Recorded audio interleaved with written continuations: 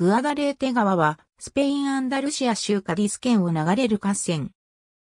大西洋のカディス湾に注ぐ、水系本流である。総延長は 172km。流域面積は3677平方キロメートル。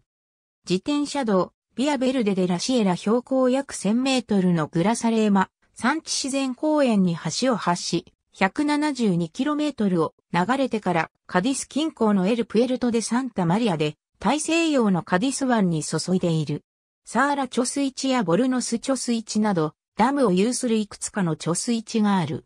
グアダレーテ川沿いには放棄された鉄道路線を改修して整備された総延長 36km の自転車道ビアベルデデラシエラがある。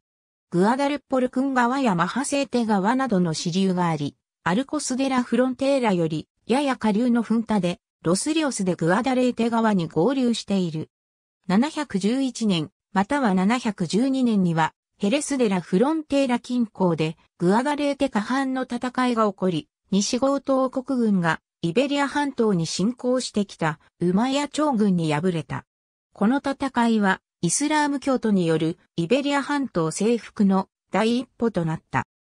かつてグアダレーテ川は、キリスト教徒とムーア人の領域を分ける自然境界であり、リオ・デ・ロース・ムエルトスという俗称を持っている。ありがとうございます。